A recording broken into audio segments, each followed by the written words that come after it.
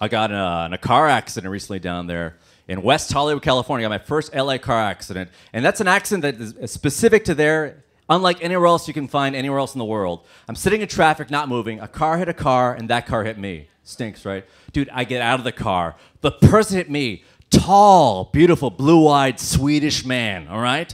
The person hit him. Tall, beautiful Latin American woman. And all I can think is, wow, this is the only way. I could get either their phone numbers. You know what I'm saying?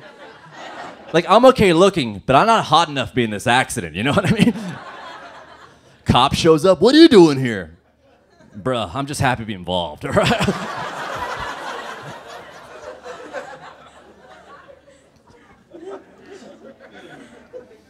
I take a lot of Lyft and Uber down there, which is a lot of fun.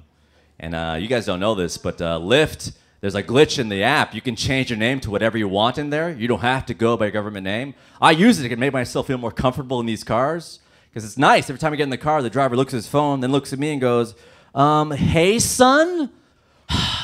Five stars, Dad. and then we don't talk for the whole ride, and it feels really familiar. You know what I mean?